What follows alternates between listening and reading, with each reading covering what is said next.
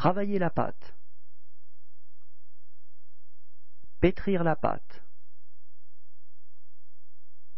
Couper une part. Sortir les viennoiseries du four. Étaler la pâte. Faire des œufs sur le plat. Goûter. Faire rôtir à la broche. Remuer.